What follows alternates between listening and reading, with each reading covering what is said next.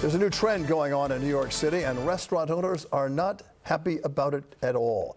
Citizen enforcers have the right and are, in fact, issuing tons of noise violations against restaurants, costing restaurants thousands of dollars. So, is this really about noise, or is it about money, or both? 7 on your side investigative reporter Kristin Thorne is digging deep.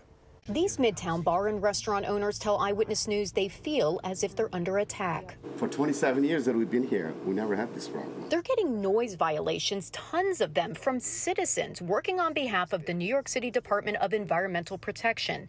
The DEP tells us two New York City residents are responsible for issuing more than 5,500 noise complaints against bar and restaurant owners since January of 22. Started out with a fine of 400, then it went up to 1,200.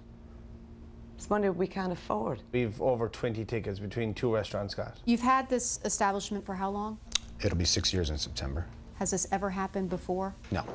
It's just strange that out of nowhere these just started appearing. DEP believes it's citizens who were enforcing New York City's idling law that got turned on to the noise code. In both cases, citizen enforcers get a cut of the fines. With noise violations, citizens can receive between 25 and 50 percent of the fines, which can range from $440 to $5,250. All people have to do is submit cell phone video of music that can be heard from a sidewalk, and they can hold on to the citations for as long as they want. The owner of St. Patrick's Bar and Grill says this one envelope postmarked June 30th from the citizen's home in Sunnyside contained four violations, all from March. We took down the speakers, no music outside, but you talk to the city, they don't care about that.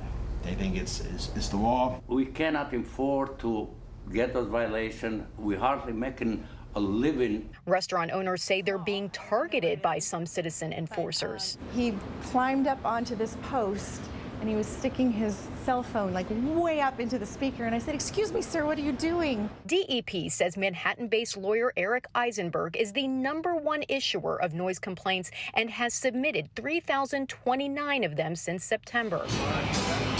Eisenberg sent us this video as evidence, he says, of a noise violation coming from a restaurant. Eisenberg would not do an interview with us, but told us he's only issued a couple hundred complaints. He said in a statement to us, New Yorkers file about a million 311 complaints a year for noise, and the city fails to do virtually anything about the problem. Chronic noise causes anxiety, illness, and premature mortality. The citizen enforcers, in many cases, they're actually incentivized by racking up the violations so that they get a cut and make some money.